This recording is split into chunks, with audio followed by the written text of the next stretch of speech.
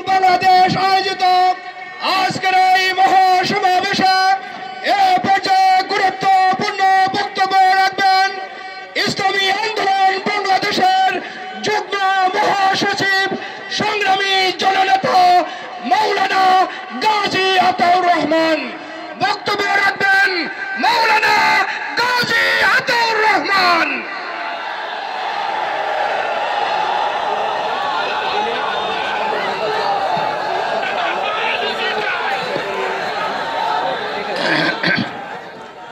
السلام عليكم ورحمة الله وبركاته نحمده ونصلي على رسوله الكريم أما بعد ইসলামী আন্দোলন বাংলাদেশ কর্তৃক আয়োজিত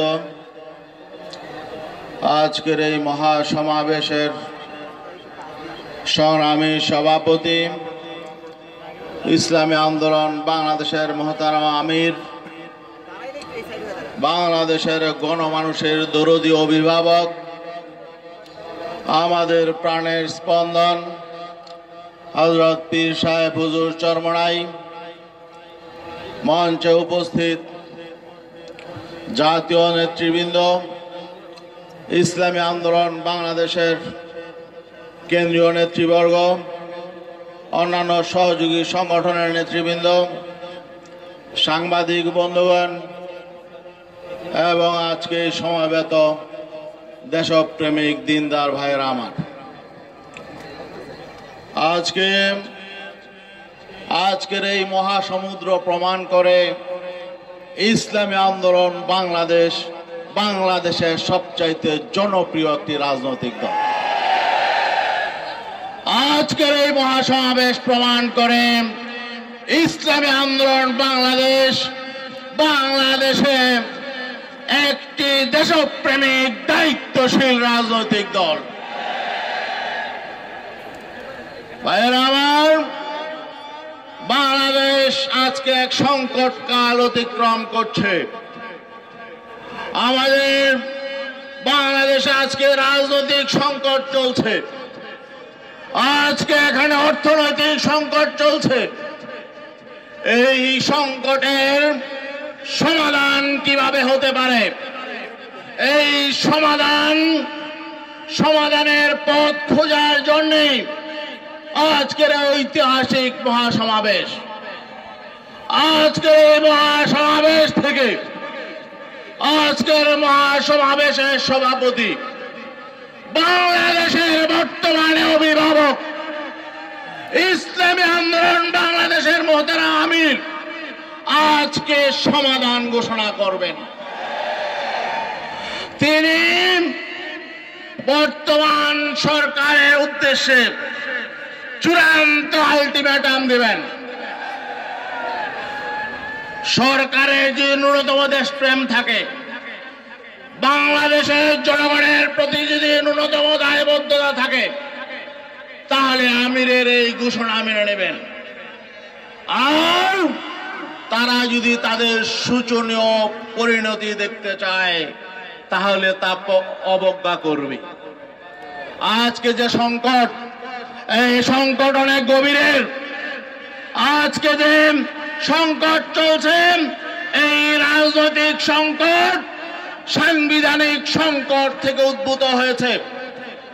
আর এই বর্তমান সরকার পঞ্চদশ সংশোধনী পাশের মাধ্যমে সাংবিধানিক সংকট তৈরি করেছে। আর তারা বলছে, আদালতের রায়ে তারা বাধ্য হয়েছে তা করতে। কিন্তু বাংলাদেশের মানুষ জানেন এই সরকার এই বিচার ব্যবস্থাকে ধ্বংস করেছে। আদালতকে ধ্বংস করেছেন আইন বিভাগকে ধ্বংস করেছেন নির্বাহী বিভাগকে ধ্বংস করেছে। নির্বাচন ব্যবস্থাকে ধ্বংস করেছে। গোটা রাষ্ট্র কাঠামোকে ধ্বংস করেছে। ভাইয়েরা আমার, বাংলাদেশ স্বাধীন হওয়ার পরে রাষ্ট্র পরিচালনার সিস্টেম আমরা দেখেছি। কি ছিল? একটি সরকার হবে পাঁচ বছরের জন্য। ঠিক ঠিক না?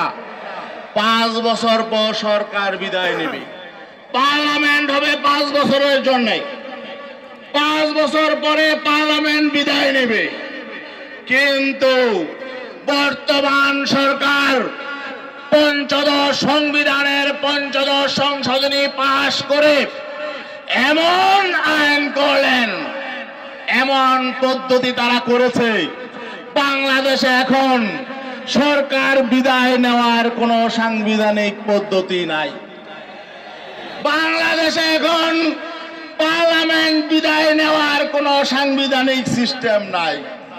তার মানে আওয়ামী লীগ সংবিধানকে এমন জায়গায় নিয়ে গেছে যে এই সরকার আজীবনের জন্য ক্ষমতায় থাকবে।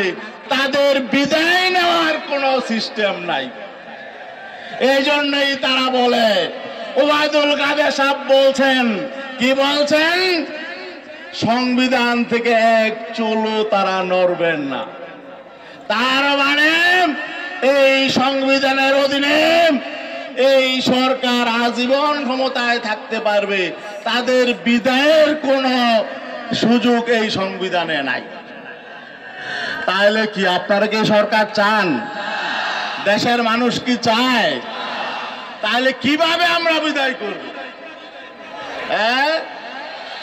শুনেন, সবচাইতে বড় সংকট হলো, এই সরকারকে বাংলাদেশের কেউ আর বিশ্বাস করে না।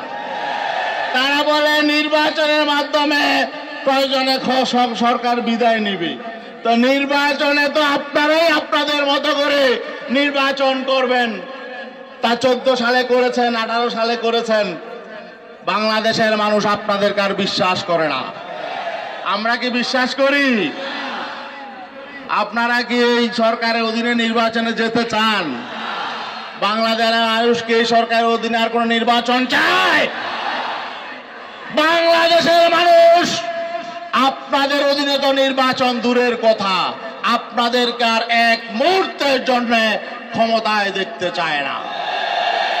আপনারা যত দ্রুত ক্ষমতা থেকে যাবেন, মানুষ অত দ্রুত মুক্তি পাবে।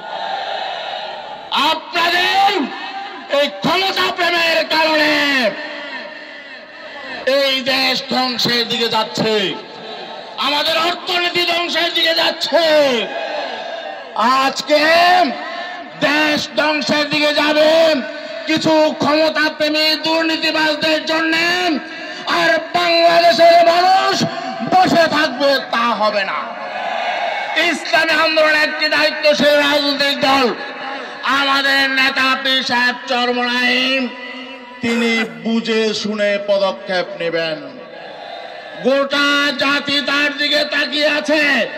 তিনি এমন সিদ্ধান্ত নেবেন, এই দেশের স্বাধীনতা, সার্বভৌমত্ব রক্ষার জন্য যেমন সিদ্ধান্ত নিতে হয়, এদেশে সুস্থ ধারা রাজনীতি ফিরে আসার জন্য যেমন সিদ্ধান্ত নিতে হয় এদেশের অর্থনীতিকে সুরক্ষার জন্য, এদেশের গণমানুষকে সুরক্ষার জন্য যেমন সিদ্ধান্ত নিতে হয়, তিনি তেমন সিদ্ধান্ত নেবেন। আরেকটি কথা বলে শেষ করছি। সরকার ক্ষমতায় গিয়ে একটা বড় এজেন্ডা ছিল বাংলাদেশ থেকে সকল বিরোধী বিরোধী দলকে নিশ্চিন্ন করা। ক্ষমতায় গিয়ে প্রথম ধাপে তারা বিভিন্ন বিরোধী দলের নেতাদের নামে ফাঁসি দিয়েছে। ফাঁসির রায় কার্যকর করেছে বিভিন্নভাবে। তারপরে বিগত পনেরো বছর তারা সকল বিরোধী দলকে নিশ্চিন্ন করতে চেয়েছে। এখনও সামনে তারা নির্বাচনের কথা বলে আর দেশের প্রধান জনপ্রিয় রাজনৈতিক দল বিএনপির সকল শীর্ষ নেতাদেরকে তারা কারারুদ্ধ করেছে। একটা কথা বলি, গত পনেরো বছরে তো আপনারা বিরোধী দলের কিছুই করতে পারেন বরং তাদের শক্তি আমরা দেখছি আরও বাড়ছে, ঠিকই ঠিক না? অতএব ভুলে যান, বিরোধী দলকে ধ্বংস করার এই অশুভ খেলা ভুলে যান। সোজা পথে আসেন। সমঝোতা, সমন্বয় এবং জাতীয় স্বার্থে আপনারা যদি দেশকে ভালোবাসেন, তাহলে আপনারা পদত্যাগ করেন বিরোধী দলের সাথে। আপনারা একটি গ্রহণযোগ্য সংলাপ শুরু করেন। এর জ- এই আহ্বান রেখেই আগামীতে যে কোনো কর্মসূচি যদি ঘোষণা করে আমি আমরা রাজপথে থাকব তো ইনশাল্লাহ যে কোনো কঠিন পরিস্থিতির জন্য প্রস্তুত থাকার আহ্বান জানিয়ে এবং সকল বিরোধী নেতা কর্মীদেরকে মুক্তির দাবি জানিয়ে আমি আমার বক্তব্য শেষ করছি। আসসালামু আলাইকুম।